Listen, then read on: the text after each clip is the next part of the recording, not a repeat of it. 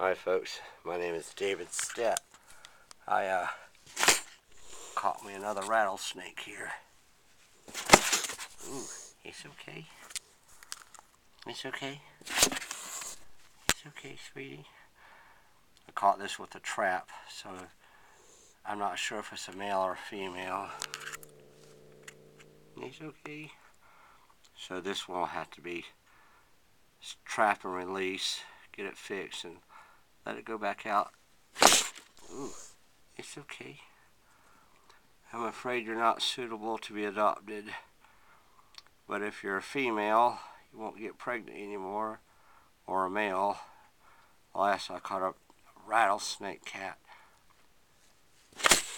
It's okay. Gracious. It's okay, kitty. I'm not gonna hurt you. Anyway, this is where all these kittens come from, these feral mamas, and just trying to prevent that from happening.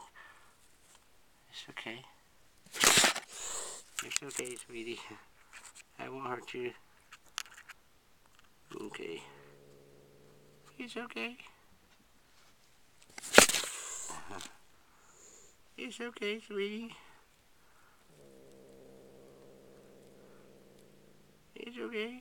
I won't hurt you.